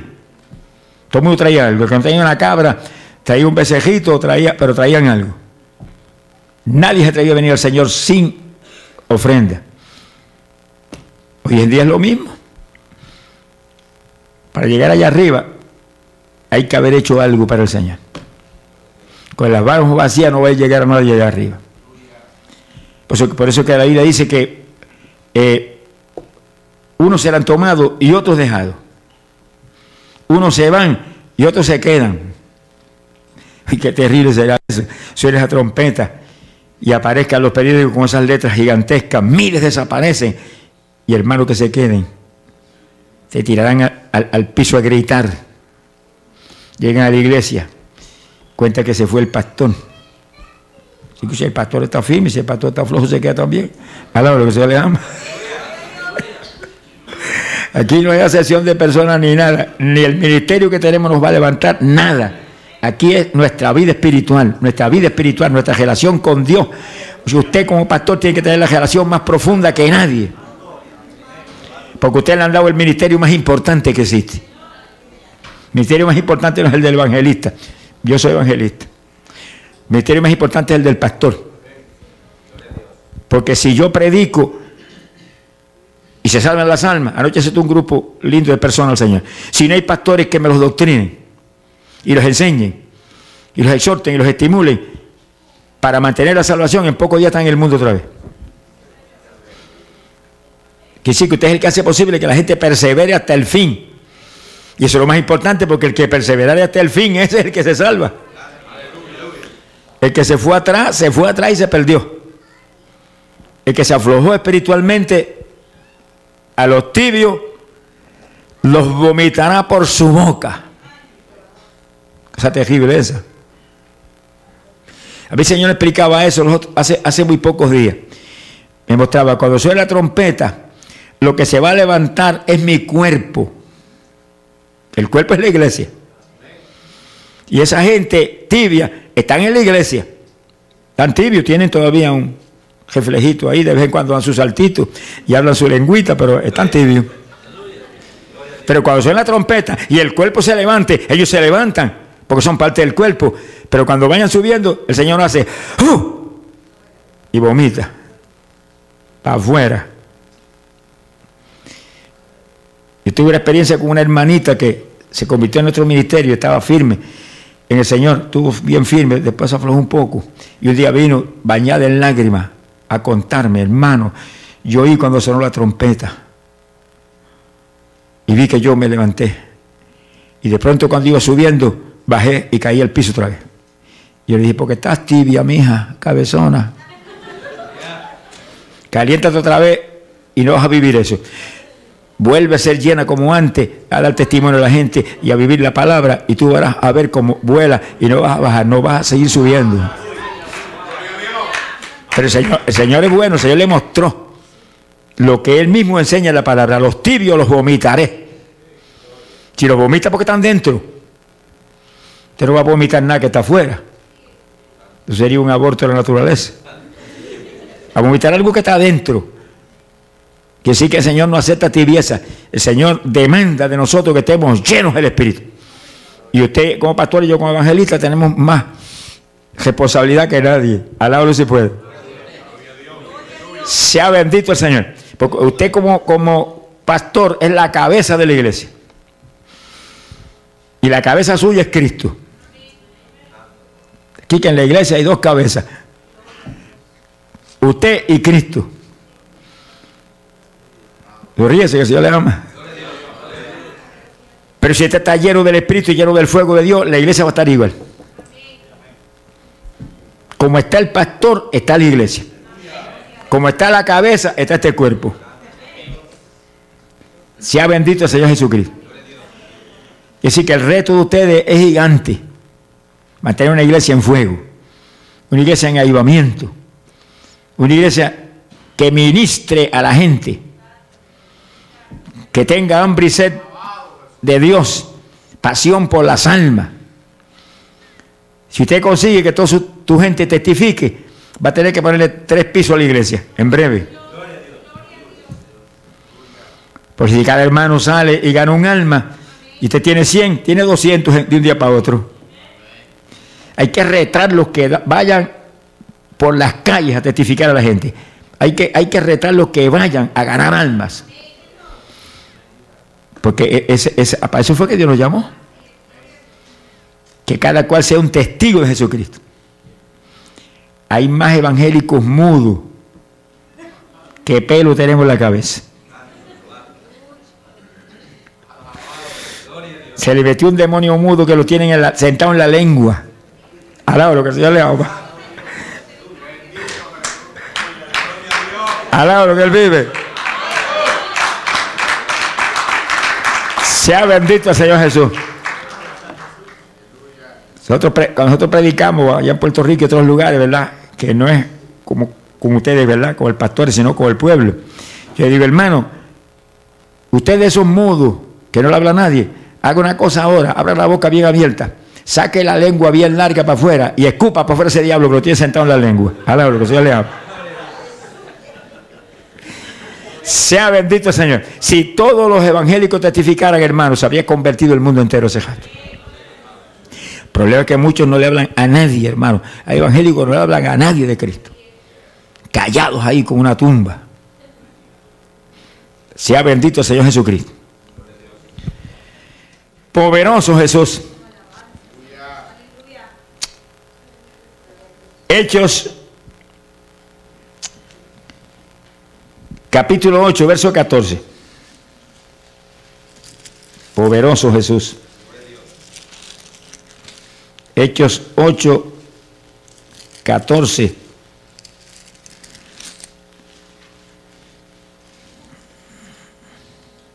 Gloria Jesús.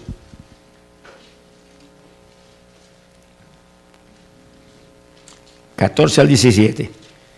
Dice, y cuando los apóstoles que estaban en Jerusalén oyeron que Samaria había recibido la palabra de Dios, enviaron allá a Pedro y a Juan. Fíjese que a Samaria entró Felipe, y Felipe era un evangelista. Llegó a Samaria huyendo de la persecución en Jerusalén. Dice que esos, esos, hermanitos iban huyendo y predicando, huyendo y mirando para atrás.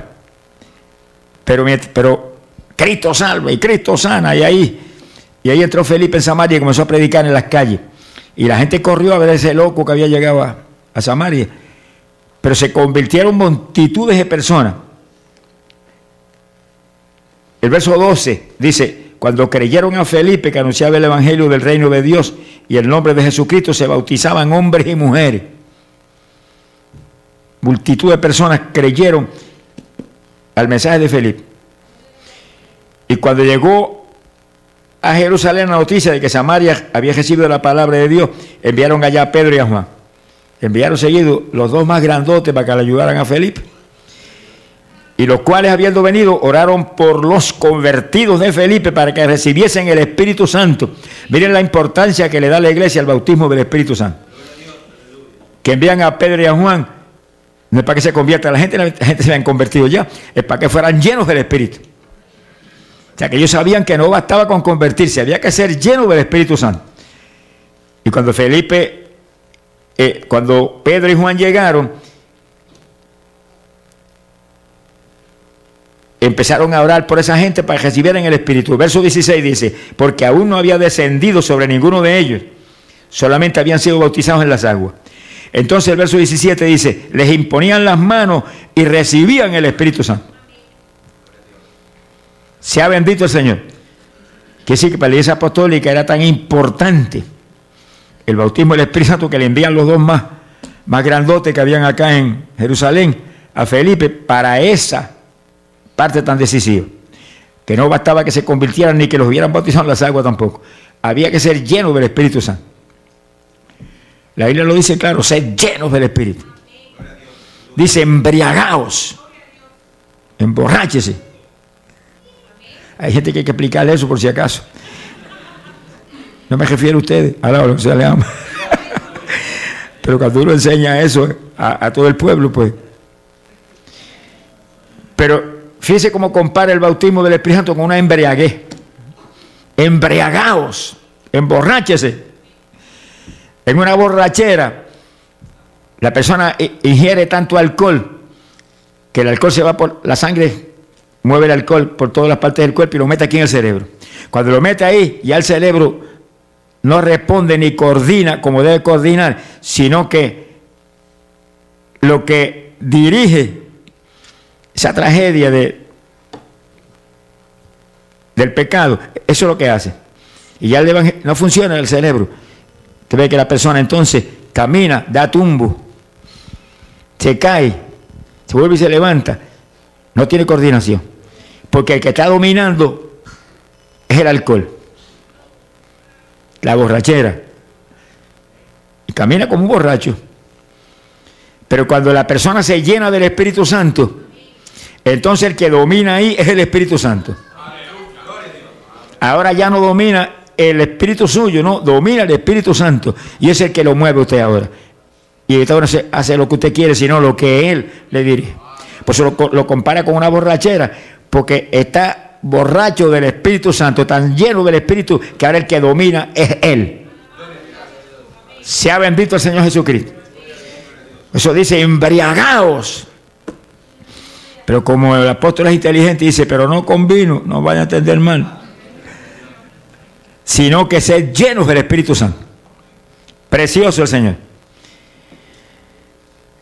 Gloria al nombre de Jesucristo. Bendecido sea Dios. Hechos 19. Ahí terminamos este primer punto de bautismo Espíritu Santo. Hechos 19, versos 2 y 7. Poderoso Jesús. Hechos 19. Vemos al apóstol Pablo en Éfeso. Se encontró ciertos discípulos de Juan el Bautista. Mire, la pregunta o el saludo que el apóstol le dio. El saludo que le dio. Recibisteis el Espíritu Santo cuando creísteis.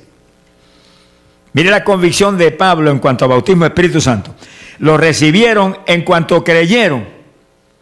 No es un mes después que creen, ni seis meses después. Es en cuanto se convierten que hay que enseñarle bautismo Espíritu Santo y doctrinárselo y ministrárselo. Alábalo si puede. Hay gente, hermano, aún en iglesias pentecostales que llevan un año convertido y no tienen el bautismo, que sí que ni se lo han enseñado ni se lo han ministrado. Y el apóstol es bien claro, bien claro, recibieron el Espíritu Santo cuando creyeron. No es al otro día, es en cuanto creyeron. Ellos le dijeron, ni siquiera hemos oído si hay Espíritu Santo. Ni se le habían enseñado ni se lo habían ministrado, nada, yo no sabía ni que existía eso. Así hay evangélicos hoy en día, hermano. Naturalmente que en iglesias que no se creen eso, pues no se puede esperar ninguna otra cosa. Pero en iglesias pentecostales no supone que funcione eso. Por eso, por eso somos pentecostales, porque hemos creído en Pentecostés. Alabro, Señor le ama. Entonces dijo, ¿y en qué fueron bautizados? Le preguntó Pablo. En el bautismo de Juan, ni bautismo en agua tenía tampoco. Pablo le dijo, Juan bautizó con bautismo de arrepentimiento diciendo al pueblo que creyesen en aquel que vendría después de él. Esto es en Jesús el Cristo. Cuando ellos oyeron eso, fueron bautizados entonces en las aguas. Pablo le enseñó. Pablo era un maestro de la palabra. No los bautizó sin doctrinarlos. Lo que pasa es que no le tomó seis meses en doctrinarlo. Sonríe si puede.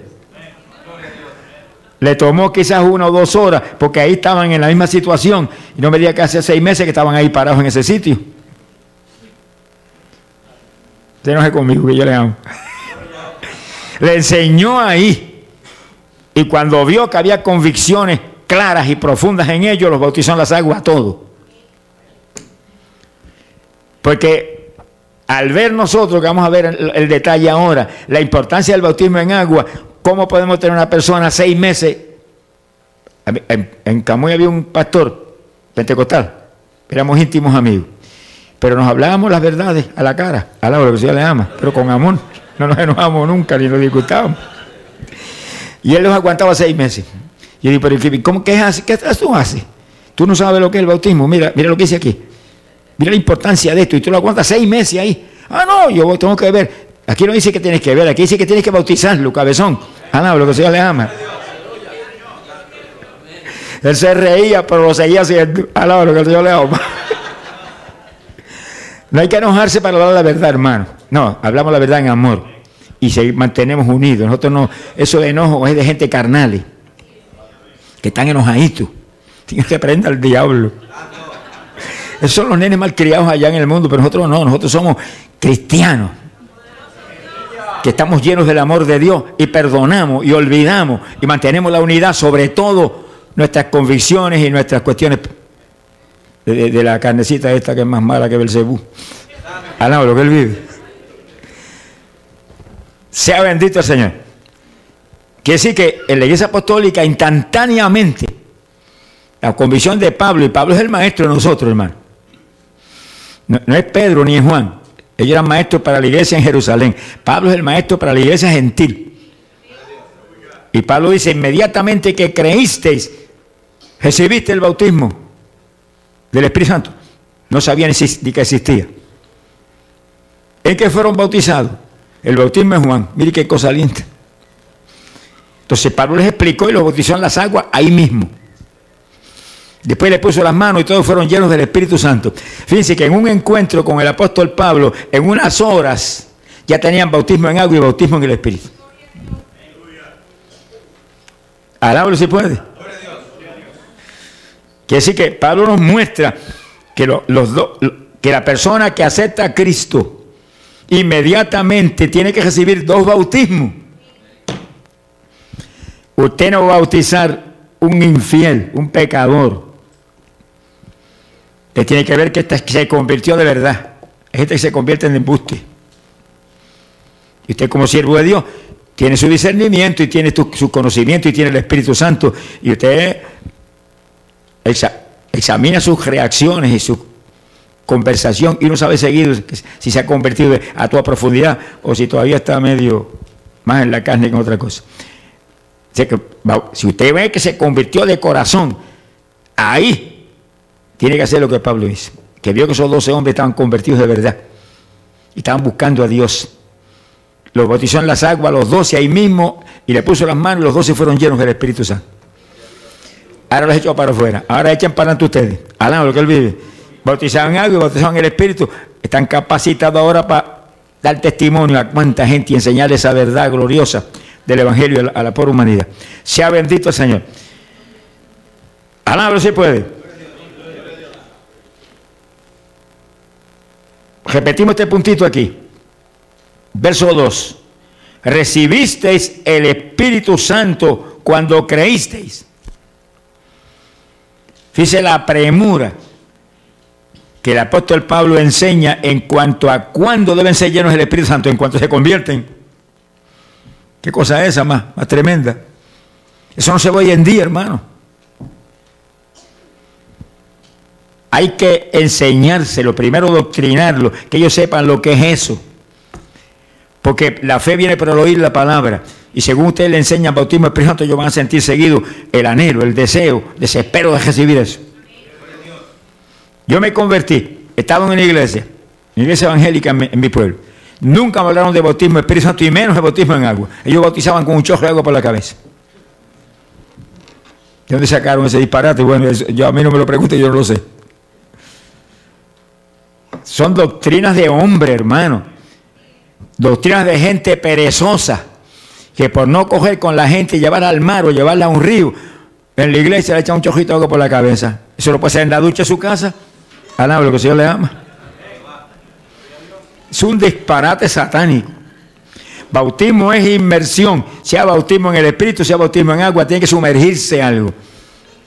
Bautismo en el Espíritu se sumerge Dios en nosotros. Bautismo en agua, se sumerge usted, que no se le quede ni un pelo por fuera. El Señor le ama. Precioso el Señor. Pablo, que conocía eso muy bien y era un maestro de todos estos asuntos, recibieron el Espíritu Santo cuando creyeron. Ese es el reto de usted como pastor, que en cuanto la gente crea, ahí mismo le enseñan bautismo Espíritu Santo y se lo ministre. Que es más fácil una persona acabada de convertir recibir el bautismo que gente que lleva un año o dos en él.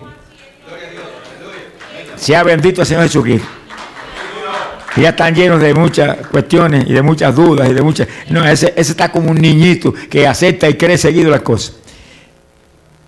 Y es una bendición que esa gente nueva se, sean bautizados en el Espíritu inmediatamente para que gente que están en la iglesia, que llevan años y meses en la iglesia pero no tienen el bautismo, se, digan, pero ¿qué es esto? Y se acaban de llegar, mira para allá hablando en lengua, y yo aquí como un pajuato, al lado, lo que se le ama.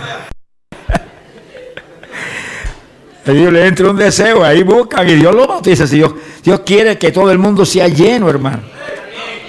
Esa, esa, es la perfecta voluntad de Dios. Que no haya nadie sin bautismo de Espíritu Santo. Porque para ser testigo hay que ser lleno del Espíritu Santo. Gloria a Dios. Precioso el Señor. ¿En qué fueron bautizados? En el bautismo de Juan. Pablo entonces los doctrinó en el bautismo de Jesucristo, que es el bautismo en agua. Y los bautizó, ajá,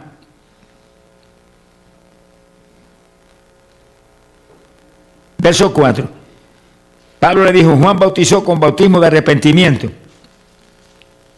Cuando oyeron esto, fueron bautizados todos en las aguas. Verso 5 creyeron. Pablo vio que eran gente que estaban creyendo, que tenían hambre de Dios, que se habían convertido de corazón. Es un punto clave que usted lo va a poder discernir fácilmente por las reacciones de la gente. Los bautizó en las aguas y después le puso las manos y vino el Espíritu Santo sobre ellos y hablaban en lenguas y profetizaban. Eran todos unos doce hombres. Doce hombres que en un encuentro con el apóstol Pablo salieron bautizados en las aguas y en el Espíritu. Y se fueron a llevar noticias de Cristo a la pobre humanidad. Que sí que esa, esa es la perfecta voluntad de Dios para la iglesia del Señor en esta época. Pablo era el maestro para nosotros. Nos mostró cómo es que había que hacerlo. Como hizo ahí con estos hombres. Alabro si puede. Precioso el Señor. Hermano, es una belleza y es un reto que en su iglesia no haya una sola persona sin bautismo en agua ni bautismo Espíritu Santo. Eso tiene que ser un reto. Que como es la perfecta voluntad de Dios, Dios no va a fallar en, darle esa bendición. Y usted se va a reír a carcajada cuando vea a su iglesia, a todo el mundo con bautismo en agua y bautismo en el Espíritu. ¿Alaba lo que él vive? Porque va a tener una iglesia capacitada para ser testigo de Jesucristo capacitada para ganar almas, que los puede lanzar y van a sentir el hambre y desespero de ir por las casas y darle testimonio a la gente y orar por los enfermos. Personas llenas del Espíritu por orar por los enfermos, pero una persona vacía de Dios, ¿por qué enfermo oran? ¿Enfermo está él? Ah, no, lo que el le ama. La enfermedad más grande no es la de la, la carne, la enfermedad más grande es la de adentro. Sea bendito el Señor Jesucristo. Sea bendito el Señor. Pero lo grande de ese asunto es que una vez la iglesia está en esas condiciones, se le va a duplicar en día. Porque ellos no se van a quedar callados. El que se llena del Espíritu, hermano, si le tapan la boca, revienta. Yo, yo estaba en esa iglesia, pero eso no es la iglesia pentecostal. Nunca hablamos de bautismo en el Espíritu ni bautismo en agua. Vino un evangelista acabó a predicar que no tenía ni cuarto grado. Sonríe si puede. Ni pelo tenía. Sonríe si puede. Un calvito lleno de Dios. sea bendito el Señor Jesucristo. Y yo lo esperé en casa a él y a la esposa. Los dos eran llenos de Dios. Y en cuanto nos sentamos a comer algo después del culto en casa, me dijo, usted tiene el bautismo del Espíritu Santo. Meses en la iglesia, ni me han, ni me han enseñado eso. Y él, no hermano, yo no sé ni lo que es eso. Dejó la comida, agarró la Biblia y me enseñó lo que era. Y esto es bautismo en agua. Y le dije, pues ese bautismo espíritu yo lo busco. Pero en las aguas porque eso no lo puedo buscar yo, eso tiene que bautizarme usted. Esa misma noche me tuvo que bautizar a mí y a la hermana Yeya. Esa misma noche. Como a la una de la mañana nos sumergieron en las aguas. Afuera, a lo que él vive. Pero inmediatamente yo comencé a buscar el bautismo del Espíritu Santo y me amanecí como cuatro noches corridas amanecido, hermano. Yo trabajaba todavía en la, profesor en la escuela superior en Camué. Ahí, y ora, y ora, bautízame. O llévame para el como tú quieras. Pero me bautiza o me lleva para el cielo. Y ahí, ahí, ahí, ahí, retando a Dios, y ahí, ahí. Cuatro días. En el quinto día estaba yo que me dormía hasta de pie. Y Señor, esta noche no puedo, me voy a quedar dormido de rodillas. Y voy a dormir, mañana vuelvo a la batalla. Pues esa noche me despertó Dios como a las 4 de la mañana y me bautizó con el Espíritu Santo. Samalaya, Saja. Precioso Jesús. El asunto fue cuando me bautizó, que yo sentí abrir los ojos. Me había levantado esta mano y me apretaba esta mano. Yo sentía la mano como de un hombre ahí, apretándome. Me apretaba esa mano ahí. Y yo dije, gracias que tú eres tan real. Cuando levanté yo la otra mano, él soltó esta y entró el espíritu por las dos manos. Y corrió como corriente por los dos brazos, se me metió por aquí y corrió por todo el cuerpo. Y yo caí de la cama al piso. Ah, no, lo que se. Y ahí en el piso comencé a alabar a Dios en voz tan alta que no quedó vecino que se despertara. Y al otro día me llamaron, pero ¿qué alboroto tenía usted? Yo dije, ¿por qué nos llamaron la policía? No nos atrevimos, teníamos miedo que temblábamos. ¿Qué fue lo que pasó? Ah, entonces yo le di testimonio de lo que había pasado. No se atrevió nadie a llamar a la policía a las 4 de la mañana gritando a toda boca, ¡Gloria a Dios! ¡Aleluya! ¡Aleluya! Y ella en la mía temblando también en la cama, no se movía ni, a tiro.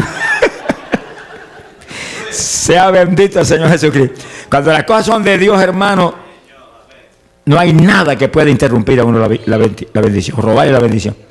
Sea bendito el Señor. Pero tuvo ese hermanito que no tenía cuarto grado, venir a mí a enseñarme eso en casa. Gracias a Dios que los esperé en casa. Y la iglesia en meses no, ni me hablaron de bautismo espiritual ni bautismo en agua. Es un crimen espiritual, hermano. Pero nosotros los pentecostales no podemos caer en un error como ese. Porque nosotros somos pentecostés. La iglesia del avivamiento. La iglesia del poder de Dios. La iglesia del evangelio completo. Alábelo si puede.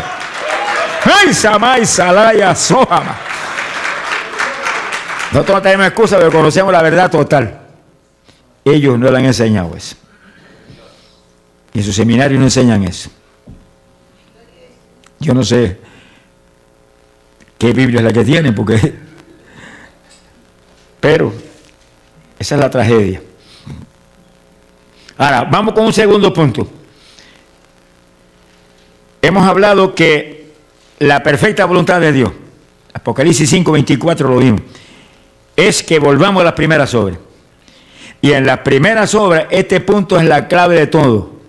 Una vez la persona es lleno del Espíritu Santo, está capacitado para todo lo demás. Ese es el punto clave que el apóstol Pablo dice, en cuanto creen, inmediatamente que se convierten, deben ser llenos del Espíritu. Silencio, sonríase, el Señor le ama. Poderoso Dios. Ahora, un segundo punto, la sanidad divina. El Dios que salva también sana. Y la sanidad divina es parte del Evangelio de Jesucristo. Y es parte tan importante que oiga esto y sonría si se puede Si no hago cosa una mueca.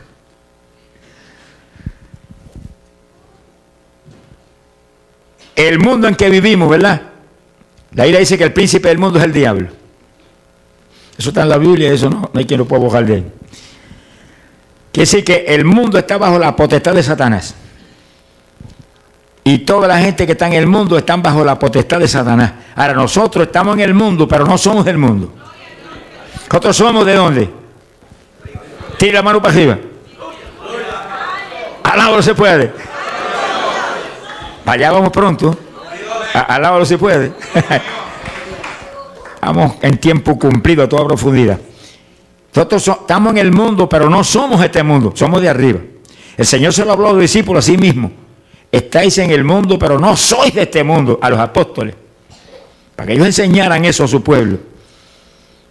Somos de arriba. Que sí que el mundo con su concupiscencia pasa. Pero nosotros permaneceremos para siempre. Sea bendito el nombre de Jesucristo.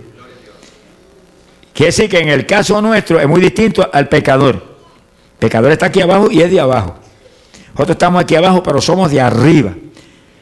No podemos actuar como los del mundo. Tenemos que actuar como los de arriba, porque somos de arriba. Vaya entendiendo por dónde vamos moviéndonos.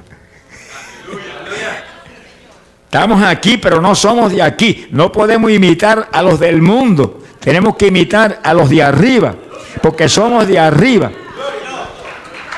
Somos no carnales como los del mundo, sino espirituales como los de arriba. Es una cosa clara. La Biblia dice, porque nuestra ciudadanía está en los cielos, de donde esperamos al Señor Jesucristo. Que sí, que no somos ciudadanos de la tierra. Esa ciudadanía la cambiamos cuando nos convertimos de corazón al Señor. Ahora somos ciudadanos del reino de los cielos. Somos de arriba. Es una cosa que tiene que estar bien clara en lo profundo ¿verdad? de nuestro ser para saber cómo actuamos. Que sí que no podemos actuar como los de abajo. Yo he oído evangélicos que me han dicho, pero hermano, estamos en el mundo todavía. Yo dije, tienes razón. Pero no somos de aquí, somos de arriba.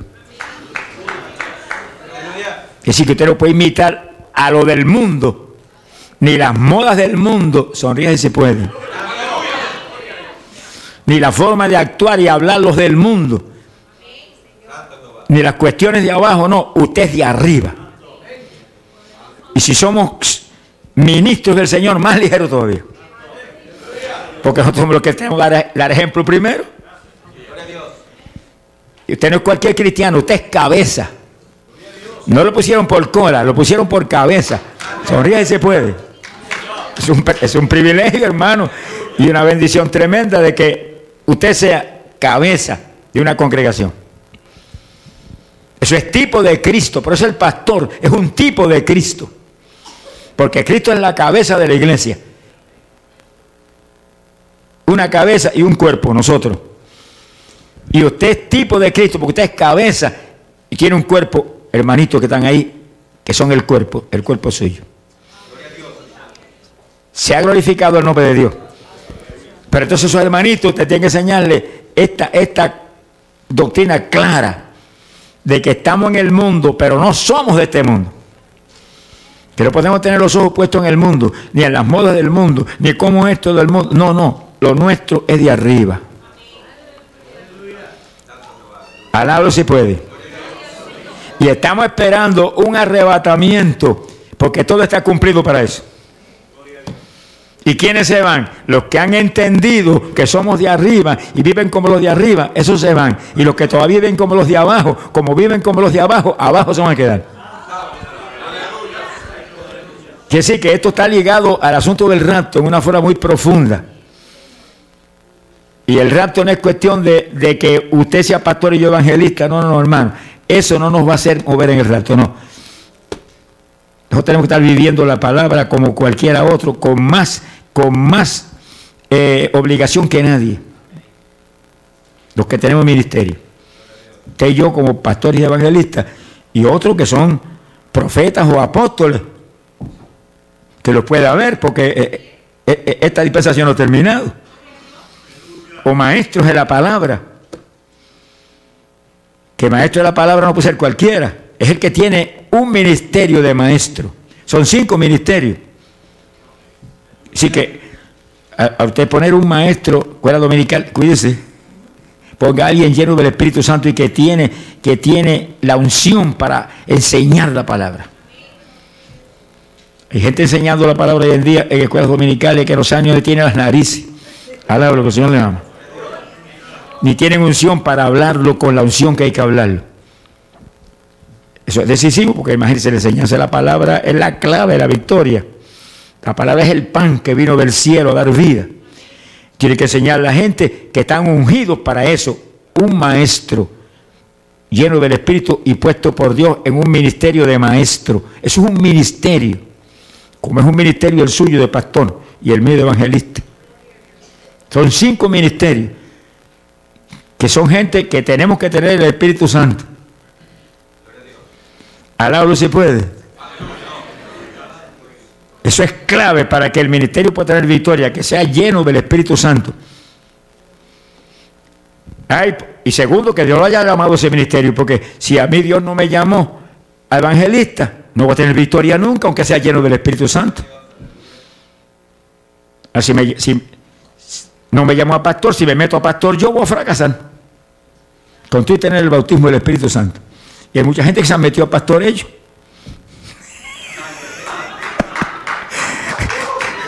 No me, mire mal que yo no estoy refiriendo a nadie que esté aquí, pero esa es, una, es una, una situación que ustedes saben que es cierta. Que se metieron a pastor o los metieron a pastor a ellos. Aquí el único que puede meter a pastor es el Espíritu Santo. Es el que puede meter a pastor. Eso. En estas palabras, Dios es el único que lo puede poner en un, ministerio. No lo puede meter la organización. La organización hay que estar muy alerta a ver si es verdad que tiene un llamado de Dios a pastor, entonces entra en el asunto. El ministerio del pastor es el ministerio más difícil, hermano. Usted tiene que bregar con montones de caracteres, con montones de gente, que algunos, mire, hay que tener la paciencia de Jesús y la dejó junta para soportarlo. Alaba lo que se le ama. Y usted tiene que tener todas esas paciencias y todas esas cosas, esas cualidades que tiene que tener el pastor. Pastor no es cualquiera. Tiene que tener un llamado de Dios y todas las cualidades que Dios pone cuando Dios llama. Alábalo si puede. Sea bendito el Señor Jesucristo. Ahora, en la sanidad divina, Hechos capítulo 5, verso 14. Hechos 5, 14.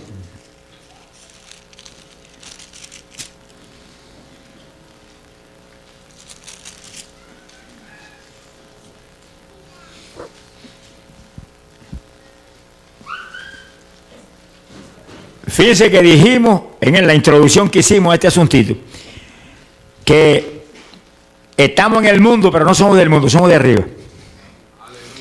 ¿Por qué dijimos eso? Ahora que vamos a ver por qué, porque el, tema es sanidad divina. La ciencia médica es ciencia del mundo para los del mundo. Sonríese si puede. Vamos a repetirlo por si acaso no le gustó. La ciencia médica es ciencia del mundo. La mayor parte de los médicos son gente inconversa. Gracias a Dios por un grupo grande que hay hoy en día de médicos convertidos que son una bendición, llenos del Espíritu Santo. Pero la ciencia, la ciencia médica es ciencia del mundo, para los del mundo. Y una prueba grande que tienen eso es que su emblema es una culebra. Un culebrón, lo que se le llama. ¿Y qué es la culebrita esa? La culebrita es un tipo del mundo y un tipo del diablo también. No es que la ciencia médica sea del diablo, no, eso no vaya a creer una, barbaridad como esa, ¿no?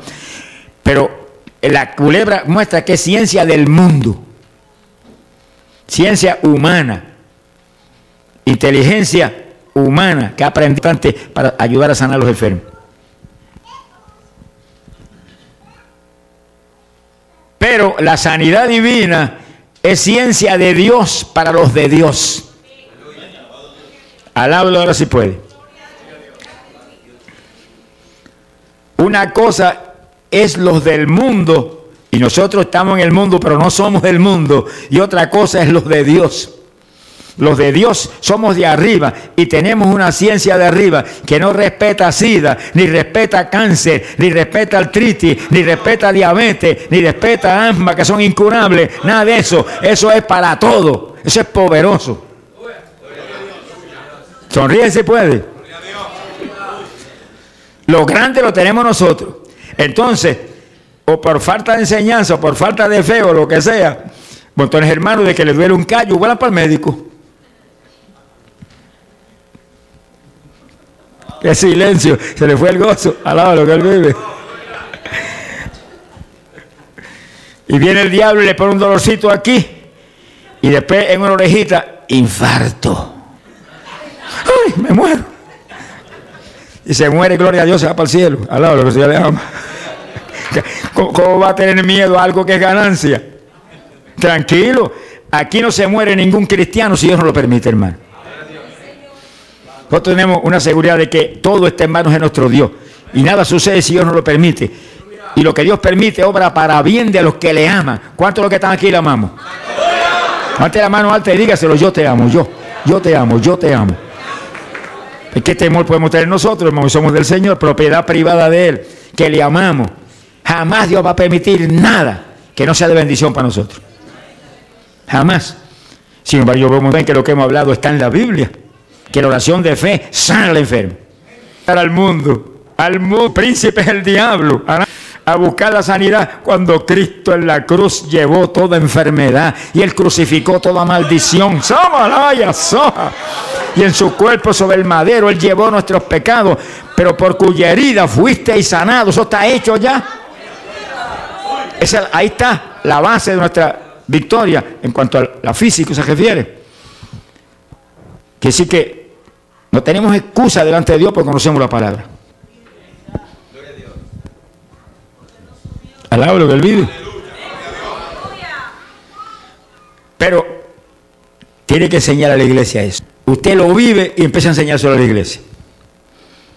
Y si usted iba al médico, porque esta, que mi médico es Jesucristo. El diablo no quiere tener así pesado. Se lo aseguro porque yo ministré tantas, tantos años en las iglesias y no hubo una ocasión en que no pasaran al frente 20, 25, 30 hermanos. Y y le aplicamos el tratamiento que les mostré hace un ratito, que hasta que no testificaba el último no me iba. Y a veces que, tenía que hacer la oración tres veces y cuatro veces, pero hasta que no testificaba el último no me iba. Y decía, aquí uno de dos tiene que ir, o el diablo o yo, y como yo, y ahí, ahí, ahí, hasta que no quedaba uno enfermo. Y, el, que tiene verdadera fe insiste hasta que consigue lo que, ha creído. Hay que insistir en el asunto, hermano. La cosa no se consigue fácilmente porque estamos peleando contra el diablo. El diablo conoce muy bien su negocito. Conoce muy bien el infierno para donde va él también. Sea bendito el Señor.